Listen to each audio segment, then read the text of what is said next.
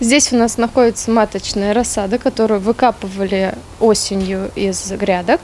Нам привозят ее сюда на размножение, на зимовку. Мы начеренили уже часть находится сзади.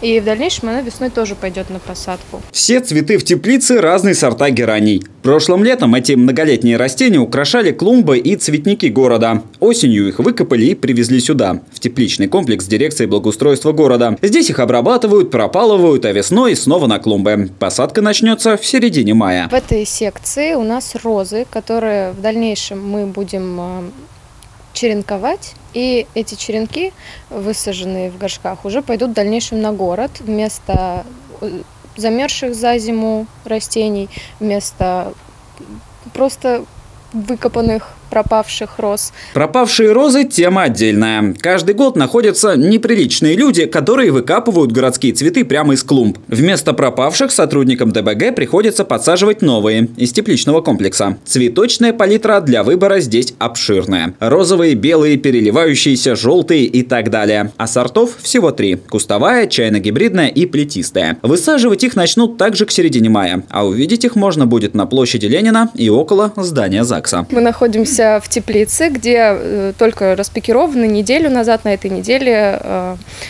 рассада цветочных однолетних культур. Это бархотка, целозия, георгины, э, циния. Посев начинается с января месяца, теплицы работают круглогодично, и то есть подготовка к весеннему посадочному сезону начинается с самой зимы. Это уже растения однолетние. Одной бархотки здесь 200 кассет по 54 цветка в каждой. Это больше 11 тысяч. И только в одной теплице. Бархотки, кстати, будут высаживать раньше всех. Начнут с монументов, памятники, площади. После их вместе с другими цветами будут высаживать во всех районах города.